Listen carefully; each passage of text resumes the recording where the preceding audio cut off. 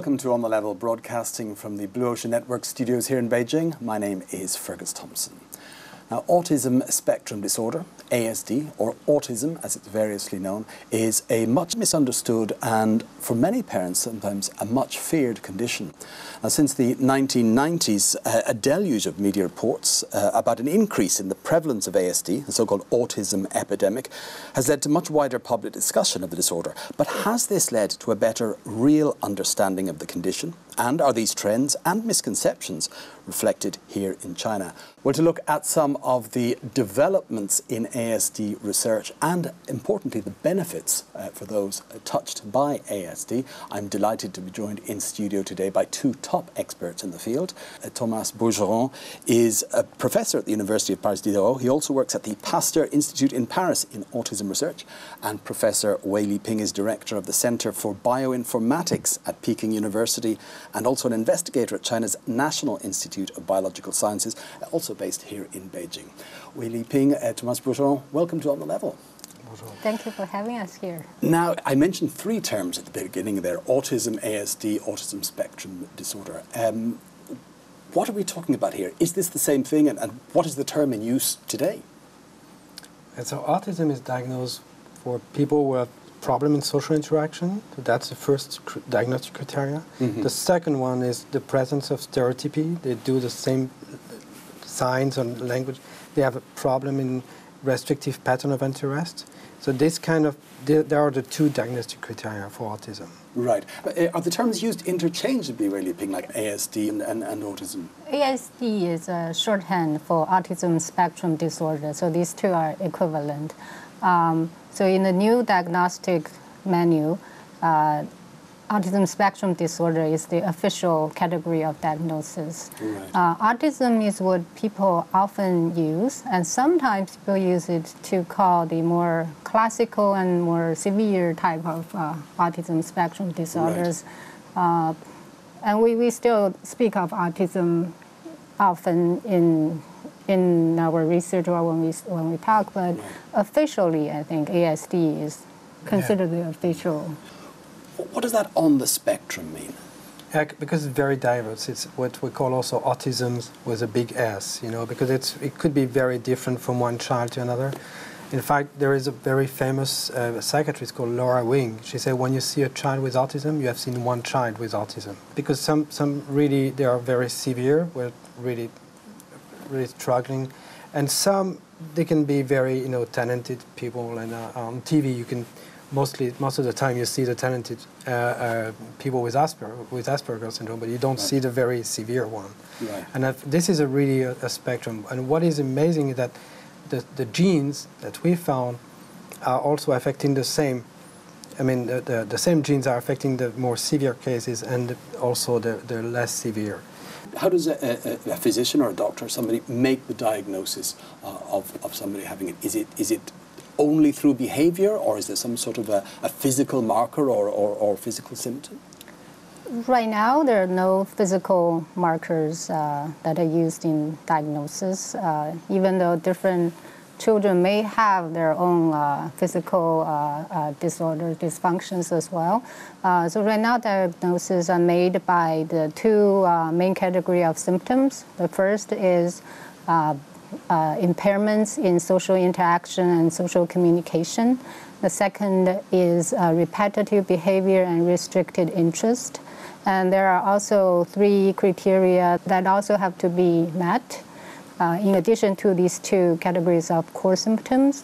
And those three include um, the symptoms have to appear in early development. Um, and second is that uh, the symptom had to cause clinically significant impairments in multiple important areas of function. So that clearly distinguishes people with ASD from someone who's just introvert and don't want to mm-hmm. talk. And thirdly, uh, it also tries to separate ASD from other comorbid disorders. For instance, if um, uh, a child also has intellectual disability and symptoms of autism, it's only diagnosed as having autism if its social function is way below its other uh, functions in other areas. In terms of numbers uh, of people affected in the general population, uh, Professor Bourgeron, in, in, in, the United States and Europe, for example, uh, can you put a percentage or a one out of a hundred or some figure like that on it? Yeah, so in the 70s it was about one in thousand, something like this, and, and now it's one more than one in hundred. One in a thousand down to one in a hundred yeah. from the 70s until now. That's, that's a huge climb. Yeah, huge. So several things can explain that. I mean, before really the more severe cases were, were diagnosed, before 2000, about two-thirds of the patients, they have intellectual disability. Now, after 2000, two-thirds of the patients, they don't have intellectual disability. So it's really changed the, the, the spectrum. So you're saying that the criteria of diagnosis mm. could certainly have an influence oh, on yes, that figure? Uh, huge. Uh, obviously, before 1943, there was zero out of 100,000 because there were no diagnoses. Yeah, exactly. And in, in terms, is that the only explanation, do you think? No, the medical awareness also, it's huge, uh, uh, important. I mean, nobody was talking about autism before, and so if there was a child with intellectual disability, nobody was looking at the social interaction or the stereotypy and now we are looking at, and then we have a diagnosis of autism. So that's really important, and this, this is one of the major um, components that explain the variance of the, of the prevalence. W would those figures be similar in China, Professor Wei? Uh, so far, that has been no national survey published. Uh, we know of two that are ongoing as we speak. And uh, we uh, heard that in this new study, the, one of the new studies they were conducting right now, uh, it's partly finished, and among the partially finished uh, uh, sample, uh, they also found the prevalence to be around 1% to 1.5. So that would mean in China we're talking about perhaps 14 million people, exactly. something like that. Exactly. In uh, terms of environmental factors versus innate, something, to explain it in simple words, you are born with it or you get it afterwards this way. What is the current state of argument over this? Professor? So there is clearly a genetic component. I mean, the, it was shown by twin studies or familial studies. that the recurrence rate, if you have a, one child with autism, there is about 20% chance to have another child in the spectrum, which is huge. And um, and so the, the genetic component is high. It's you say component, though. Component. So that would suggest it's not the only factor. Yeah, I mean, for it's really again, it's for for one child something will be very genetic, yes. and the other will be very environmental. So there are, but what we estimate is that about 50%, more than 50% is genetics, and, uh, and the other component is, is environmental.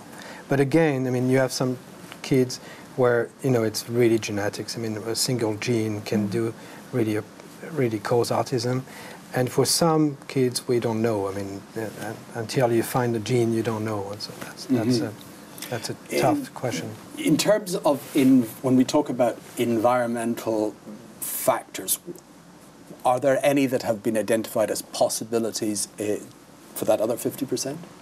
Uh, one risk factor that has been replicated was uh, increased parental age. Um, uh, it had been found that when the parent's age increased by uh, 10 years, the risk of autism rises by about 50, 60 percent. And there have been some reports on pesticides, um, but they're yeah. conflicting. Yeah, it's very difficult very, to work environment Very factor. difficult.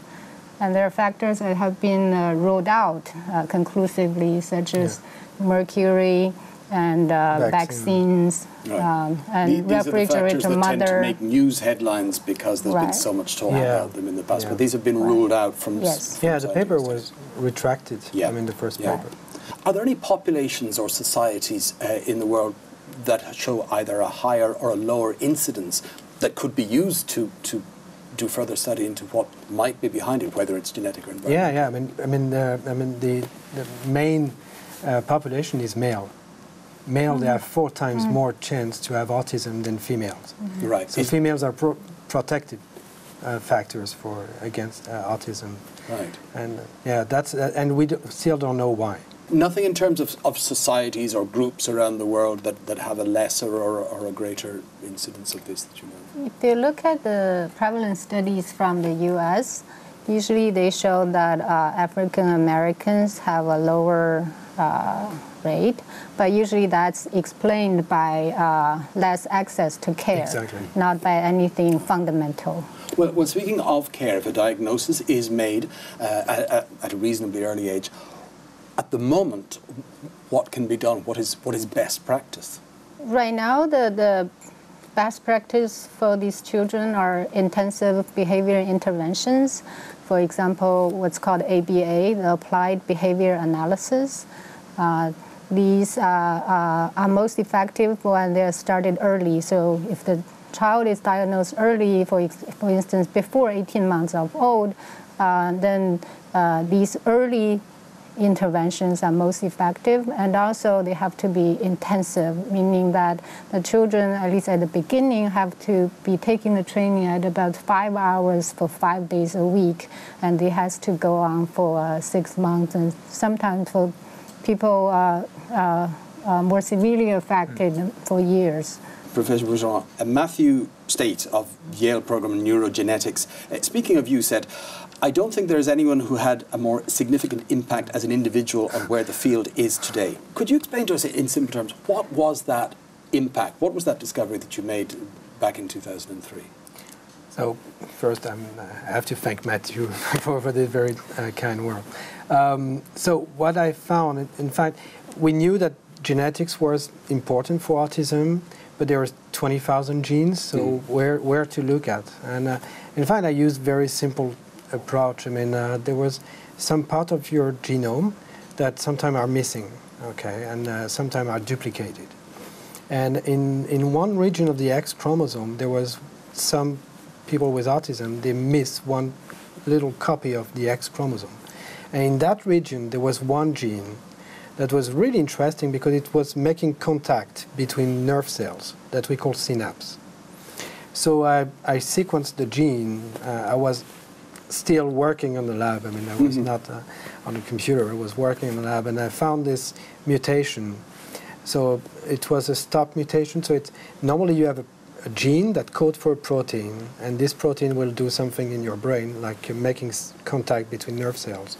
And this protein was shorter, and, in, and this protein was non-functional. And we found this mutation in one child with autism, and his uh, uh, brother with Asperger's syndrome.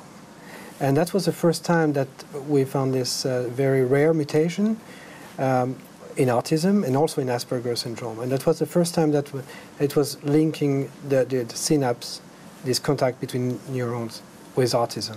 So this was a clear link of a gene or a, or a, or a problem with a gene causing Yeah. this particular problem. If you're talking about these synapses, these are the, the parts that send messages from Yeah. one, one cell to another. Um, there are, for ones that don't function possibly, some sort of drug treatments that do, do improve that function. Does that mean hypothetically that there might be a possibility down the road that there could be some treatment uh, that would improve that function?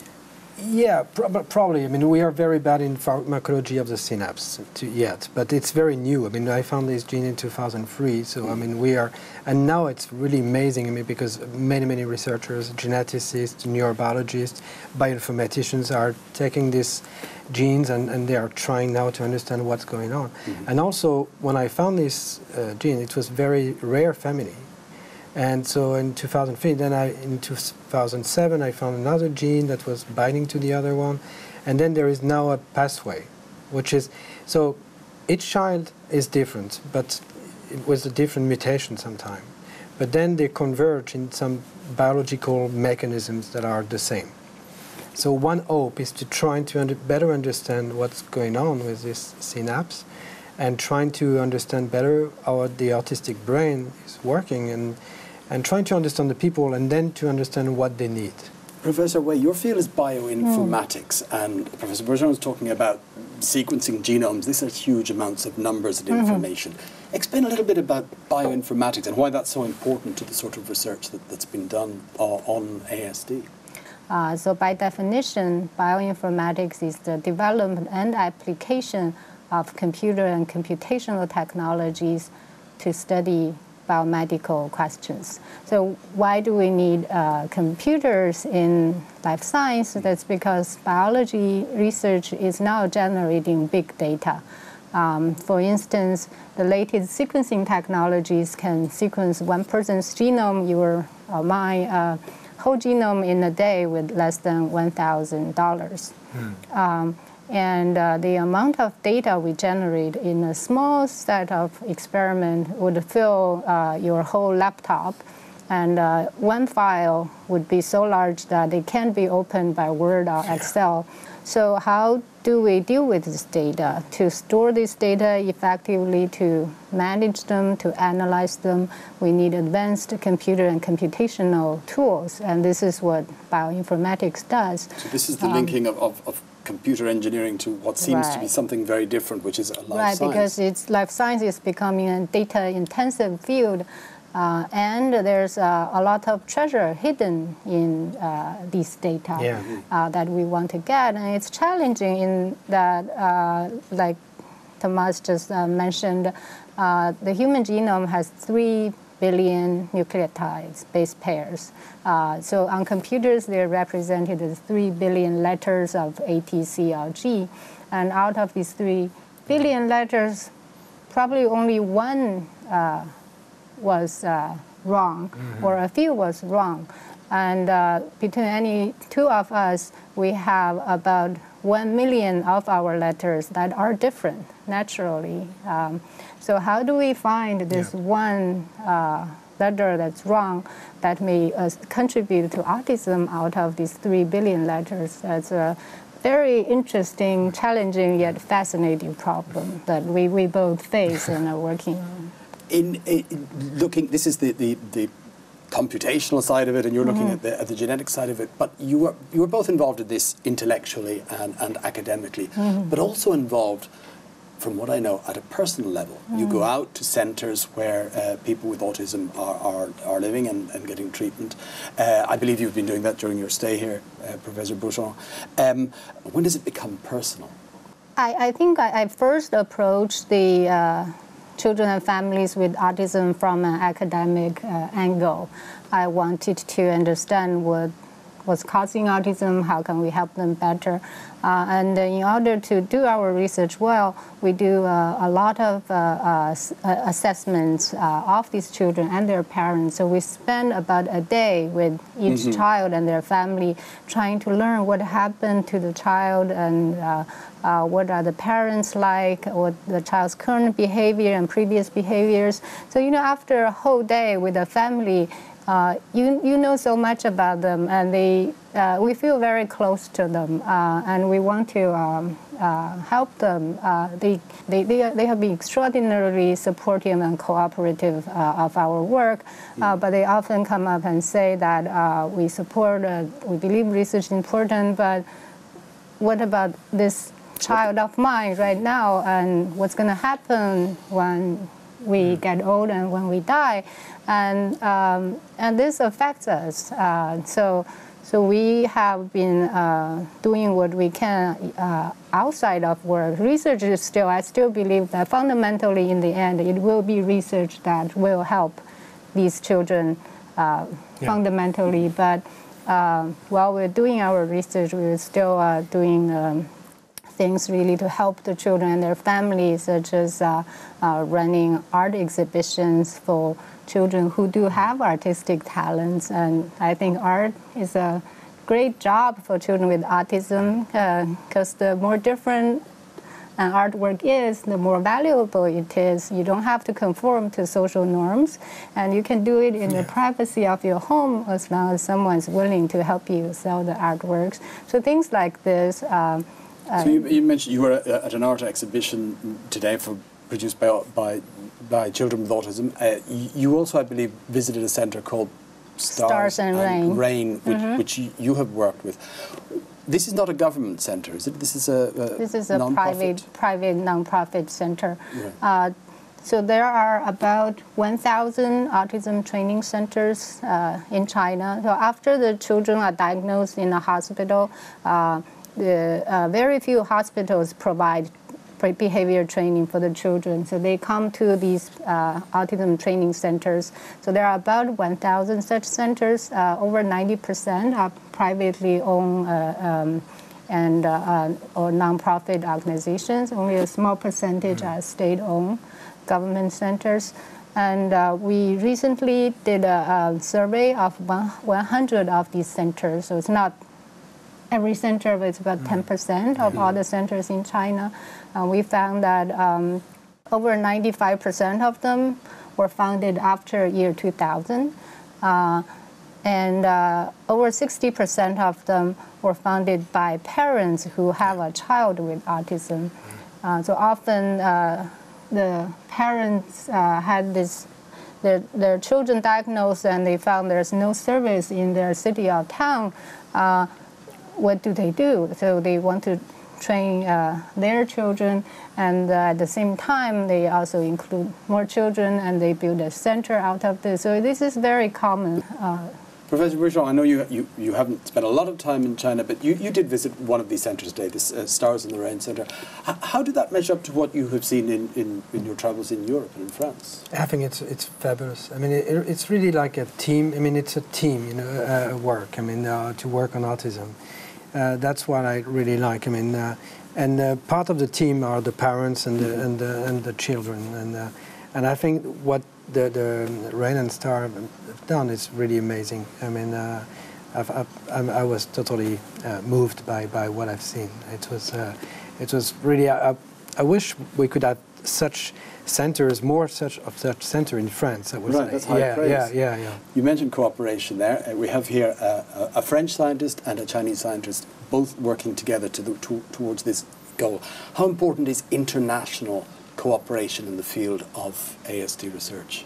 I think it's it's so important. I mean, uh, first it, I said it's a teamwork. So the, my work, I couldn't have done that work without the psychiatrist. I mean, the, uh, Christopher Gillberg in Sweden and, and Marion Leboyer in France, they were there. I mean, they, they were they are the door of the of the house, you know, and uh, mm-hmm. and, and I'm I'm part of the house with uh, as working with my genes and mm-hmm. trying to see what's going on but they, they are, uh, it's really a teamwork. And, and, and when uh, uh, was, was saying that we are trying to find the, the, the, the nucleotide, the, the mutation, uh, but we sometimes we found the mutation, but we don't know exactly what's, what's going on because we know this China's autism, but we don't know what what this mutation is doing in his brain, um, what kind of autism he has. And so we need more information from everywhere. Around Some, the world. Yes, from everywhere, from all over the world. And also, there are so many, you know, sequencing, and so I mean, my brain uh, cannot see all these genes, and uh, and I need my, you know, the sequencing is so, you know, expensive that I want my sequencing to be seen by the eye of uh, Liping Wei. I mean, she will see things that I will never look at, and that's great, and this is really wonderful. So, so this and is not for, a field in which one or two people are going to no. make a sudden breakthrough and suddenly yeah. everything is going to be fine. It needs mm. collaboration from right. thousands or hundreds of thousands of, of scientists around the right. world. Right, and for, for human genetic studies, when you discover something in one population, you want that finding replicated in an independent, as different as possible, another population. Mm. Um, and also uh, for uh, autism, sometimes it's so complex and heterogeneous, mm. so sometimes the signal is weak compared to the mm. noises and the background. So you need a large uh, sample size, what, what we said, meaning you need to study a large number of patients to begin to see the mm. patterns. And uh, that's why uh, you see a lot of collaborations across different groups and even And across. also to see how the different societies see people with autism and to include more people with autism in our society. Mm. This is really important because I really am I'm doing I'm finding genes for autism. I'm doing animal models, so you can mice that have the mutation with the, the genes, and they, it's really amazing. Our they have social interaction mm-hmm. is, is a problem in mice when they have this mutation. They can vocalize less. You don't. I don't know if you know that mice can sing, but they, they, they can sing in ultrasound, and, and when you do this mutation, they reduce their vocalization. So it's really recapitulating, some, and they are grooming a lot, and so like a stereotype. So you can do this such a thing, and, and trying to find a pill that will maybe you know alleviate the.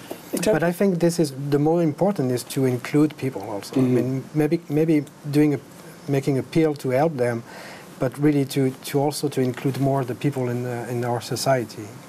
Professor Bourgeron, I ask you first, what, what do you see, what, what advances will we see over the next 10 years in terms of ASD, both, both research and, and, and possible treatment? Or? Yeah, I think we will know more and more. I mean, the, the, the technology is growing, going, and the sequencing is there. Mm-hmm. there is much more collaborative work to, to look at this. So this is, I'm, I'm sure we'll know more about autism.